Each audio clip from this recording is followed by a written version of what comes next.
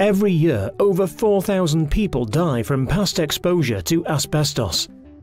If materials containing asbestos are in a poor condition or disturbed, it is the exposure to the airborne asbestos fibers which can, over time, cause fatal diseases such as mesothelioma, asbestosis, and lung cancer.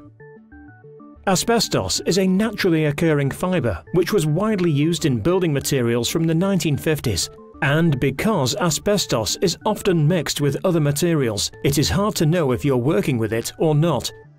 Materials containing asbestos include coatings, insulation, insulating boards, textiles and ropes, fuses and electrical switchgear, gaskets, cement products for roofing, tanks, downpipes, gutters etc textured coatings, bitumen products, floor tiles, toilet cisterns, etc.